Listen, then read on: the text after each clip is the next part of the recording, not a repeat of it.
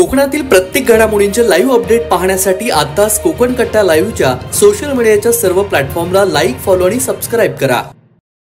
राज्यात लहान मुली आणि महिलांवरती होत असलेल्या अत्याचाराच्या विरोधात चिपळूणमधील मुस्लिम महिलांनी कॅन्डल मार्च काढला. चिपळूण काँग्रेसचे नेते साजी सरगुरोह यांच्या नेतृत्वाखाली चिपळूण गोवलकोट ते चिपळूण पोलीस ठाणे दरम्यान कॅन्डल मार्च काढण्यात आला. यामध्ये मुस्लिम महिला मोठ्या संख्येनं सहभागी झालेल्या होत्या. जाहीर निषेध करून महिलांना न्याय द्या अशा घोषणाबाजी देखील करण्यात आलेल्या आहेत.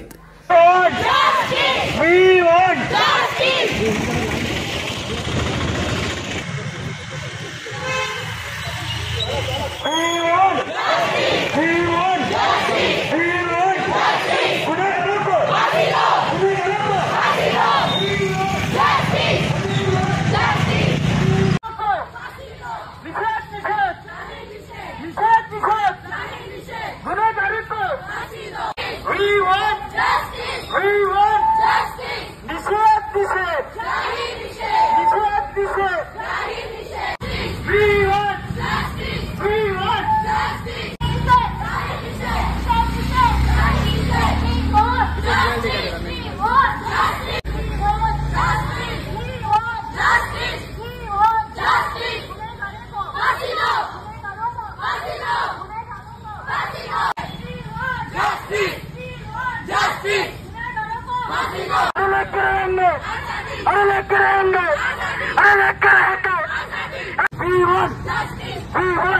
Hind!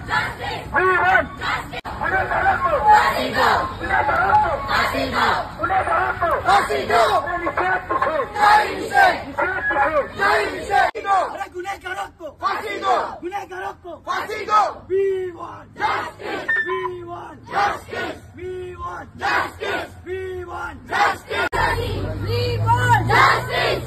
want justice! हो रही है उसके ऊपर हमें कहीं ना कहीं रोक लगाना बहुत ज़रूरी है।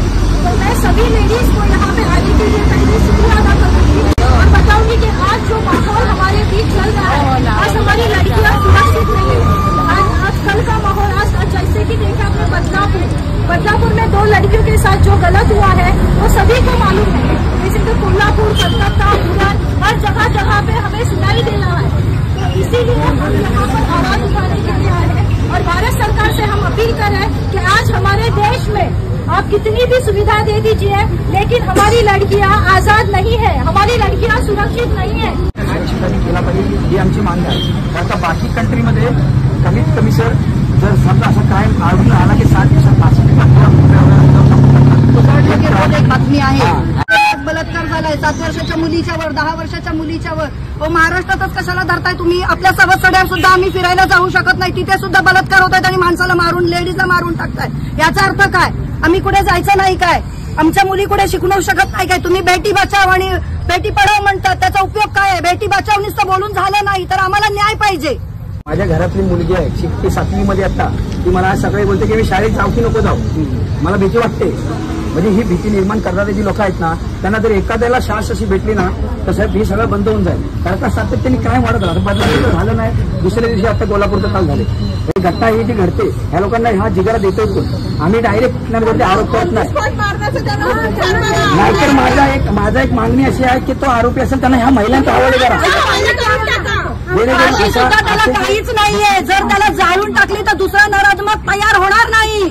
फाशी सुद्धा काही नाही. धड वेगळं पण त्याला जर पाठ आणि जळला की त्याला शास लागेल दुसऱ्या नराधमकाला की आम्ही तयार कसे व्हायचे ह्याचा विचार करेल. की तुम्ही हे आज किती वर्ष हे असंच घडत आलं आहे? ह्याला हे आपण कानून आता तुमचं संविधानमध्ये पंधरा दिवस या बारा घंटे अगर न्याय द्यायला लागतात तर मग कसे कसं होणार सर? आणि आमच्या महिला मुली सुरक्षित नाही आहेत शाळेमध्ये नाही आहेत नाही कुठल्या अड्ड्यामध्ये सुरक्षित आहे? आम्ही काय ते कुठल्या कुठल्या एरियामध्ये काय मुलांच्या पाठीमध्ये लागणार आहोत का? अगर शाळामध्ये प्रशाळामध्ये असं असं घडलं तर आम्ही करणार काय? कोणाकडे जाणार मागणी मागायला फाशी दो गुन्हेगारों को फाशी दो गुन्हेगारों को फाशी दो जर तुम्ही तुमचं राज्य एका रात्रीत बदलू शकताय तर त्यावेळेस तुम्ही जनतेला विचारत नाही तो तुमचा सगळा राजकारणाचा विषय असतो. तसाच आता न्याय घेताना तुमच्याजवळ कसले अजून साबूत आणि पुरावे तुम्हाला हवे की त्या नराधमाकाला तुम्हाला न्याय देण्यासाठी वेळ लागेल. का म्हणून? सर्वप्रथम आयोजक मोर्चेचे आयोजक आणि तुम्हा सर्व सहभागींचं मनापासून आभार व्यक्त करतो कारण की तुम्ही ज्या अटी आणि शर्ती दिलेल्या होत्या मी त्याचं तुम्ही पालन केलं आणि शांततेच्या मार्गाने तुमचं जे निवेदन किंवा तुमचा जो निषेध आहे मोर्चा स्वरूपी तुम्ही व्यक्त केलेला आहे पोलीस स्टेशन पोलीस स्टेशनला येईपर्यंत. आता निवेदनाच्या अनुषंगाने सांगतो. हे सगळ्यात पहिला मुद्दा आपण आज आलोय की आपल्या ज्या लहान लहान मुली किंवा चिमुकल्यांसोबत जे अपघात झाले आणि जे विकृत मानसिकतेची लोक आहेत त्यांना फाशी भेटली पाहिजे ही आपली मांग आहे. दुसरा विषय त्याच्या. त्याच्या व्यतिरिक्त दुसरा की पोलीस प्रशासनाजवळ आपण का आलो की आम्ही तुमच्याकडे आशेने बघतोय. याच्यापुढे असं होऊ नये म्हणून आम्हीच नियमित पेट्रोलिंग ठेवू गावभेटी देऊ त्याच्यानंतर प्रत्येक शाळा कॉलेजमध्ये सेमिनार घेऊ तुमच्यामध्ये जनजागृती करून आणू आणि हा प्रकार किंवा अशा स्वरूपाचे प्रकार आपल्या हद्दीमध्ये होणार नाही त्याची पुरेपूर काळजी घेऊ.